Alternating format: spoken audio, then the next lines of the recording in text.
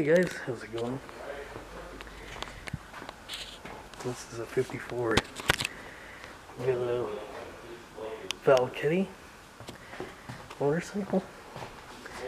I'm not sure if this is the same motorcycle as the one in in The Great Escape that Steve McQueen jumped, but uh, it looks the same. But anyhow, yeah, super cool. I've never even seen another one besides this one. It's got a cool patina. But yeah, it's been here for a long time. As long as I can remember. But, uh, yeah. Very cool. We'll see you later, guys. There's the front neck.